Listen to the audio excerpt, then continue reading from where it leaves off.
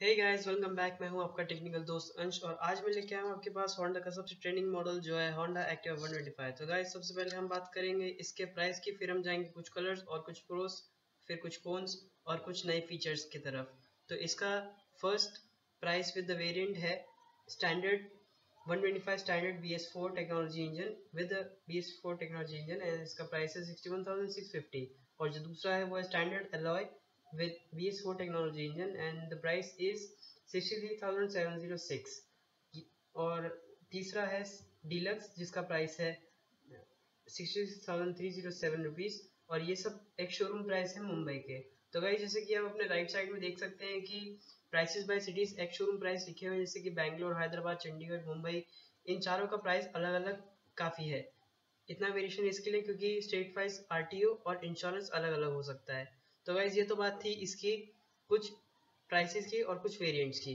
तो अब हम जाते हैं इसके कलर्स की तरफ़। तो the first colour is pearl amazing white it's little bit metallic and the second is the red rebel and the third that is my favourite is midnight blue and the fourth is common is very common और वो है black और fifth जो company के द्वारा नया निकाला गया है, वो है मैट ट्रस्ट मेटेलिक तो अब ये तो थे इसके कुछ कलर्स अब हम जाते हैं इसके कुछ प्रोस और कुछ कोन्स की तरफ़।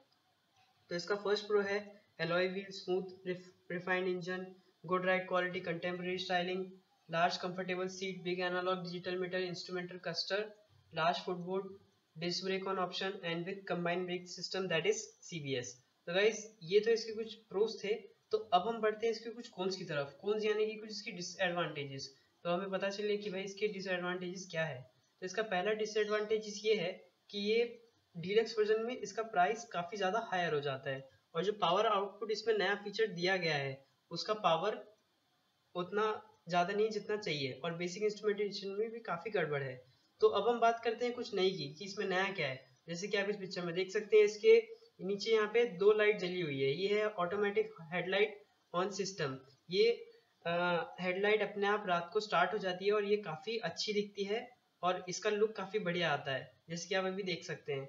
और ये इसकी है नेक्स्ट पिक्चर इसमें आप देख सकते हैं, इसमें आपको आइडिया मिल जाएगा कि आपकी कैसी लगती है।